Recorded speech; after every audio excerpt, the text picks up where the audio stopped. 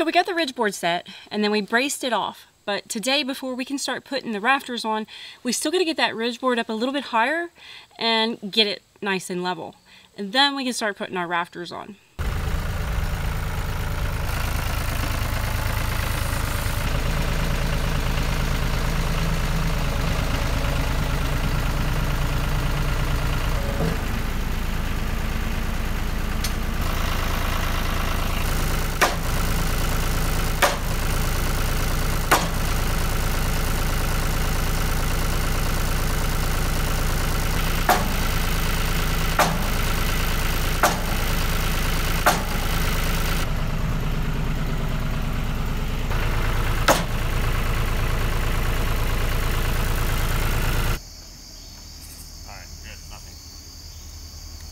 Nothing fell. Okay.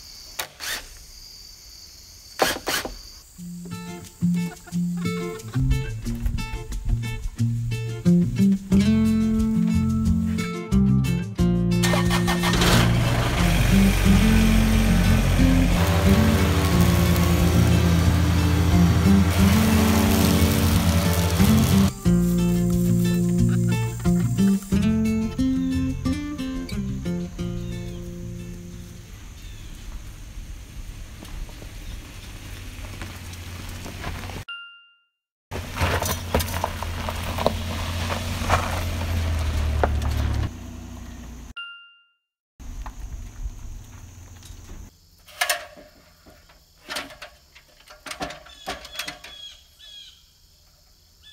the best thing to do is we're gonna have to go just Out. go all the way out and then back in.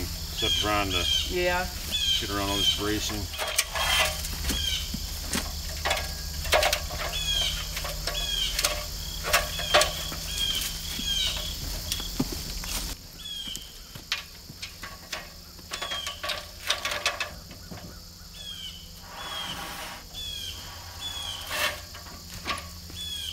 Yeah, you're good.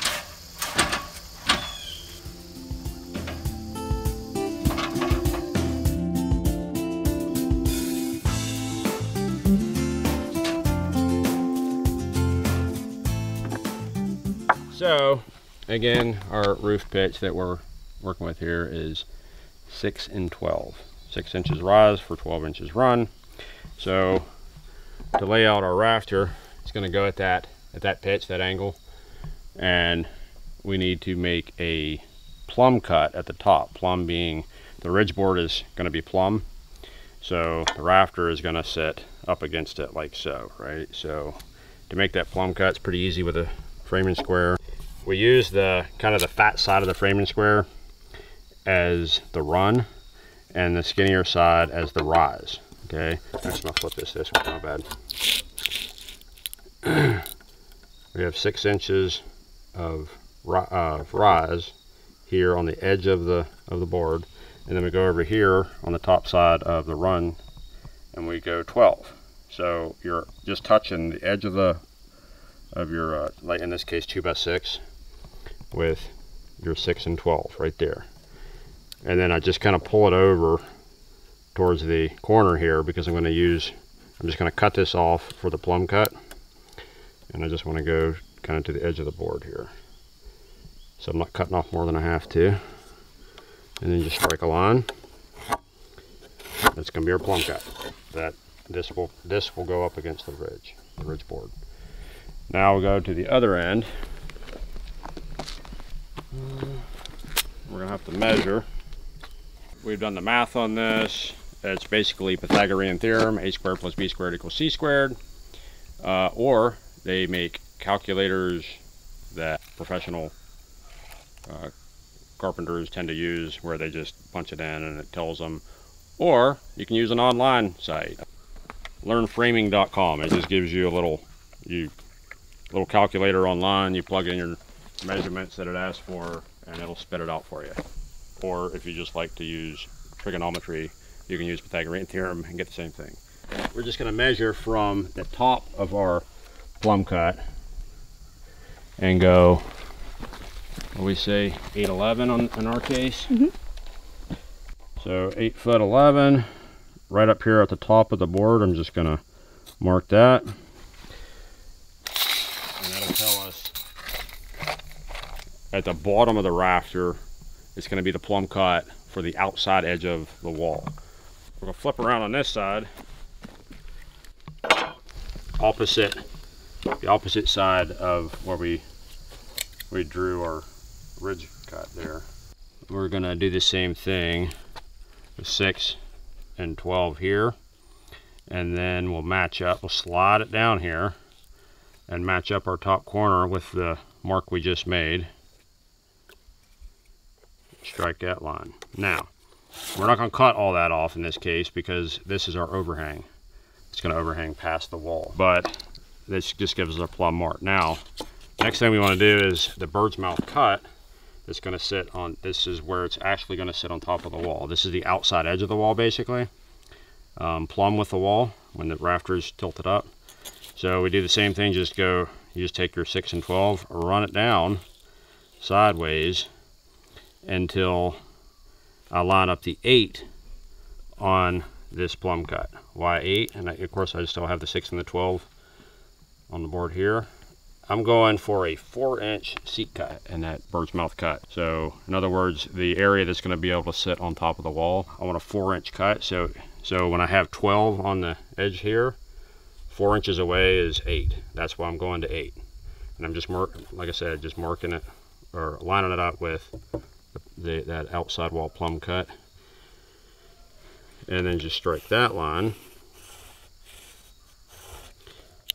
Now this is what's going to sit on top of the wall. And this is the plumb going outside the wall. And then this is your overhang. So if you however much overhang you want you go out past here. In this case I'm not going to cut this right now but let's say you wanted a nine inch overhang. Well, there's, you just mark a line your nine up here, your six and your 12, and then you strike this line. That will give you nine inches out on your overhang. That's all you'd have to do. And then you could, you could cut that off.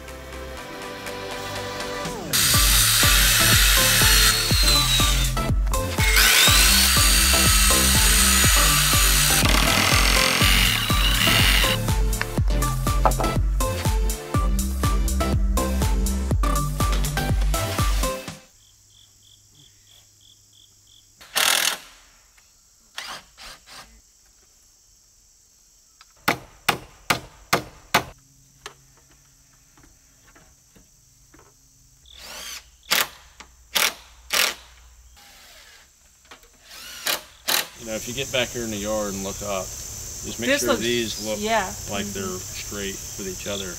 Well- I can't tell from here. I couldn't tell it just one up. You know, say, you know, in other words, is the ridge board ending where it's supposed to, or Right. are these going out or in? I think we'll go ahead and move our scaffold over, get set up for this guy.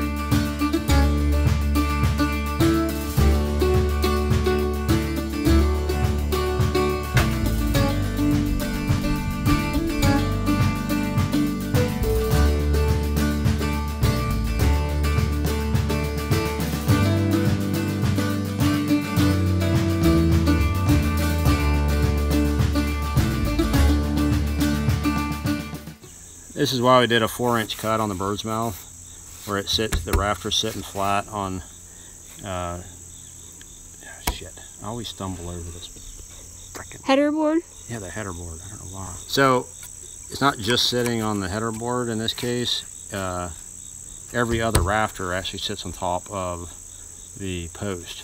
So the four inch cut extends beyond just the header board over onto the post, which is what I really want, uh, so that the weight of the roof is being supported by the, the post itself, uh, sitting on top of the post. And then you don't want to do too much more than that because uh, by code, you can't go cut beyond a third of the height of, of the rafter. It's just because of structural integrity. Yeah, I mean, if you if you go cutting too much into it, then then it's not going to support the load, and you could actually break the rafter with too much load.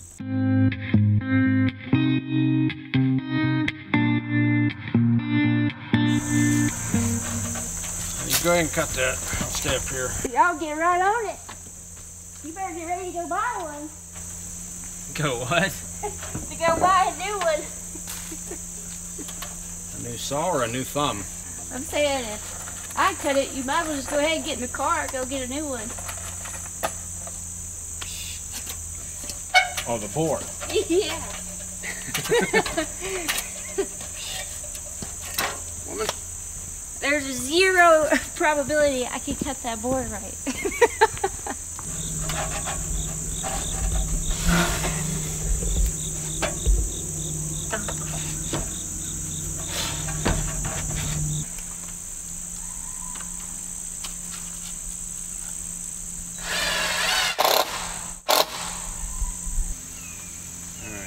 against a little bit, see if it moves any. Just have it snug as you can there. Alright. Alright. Got it.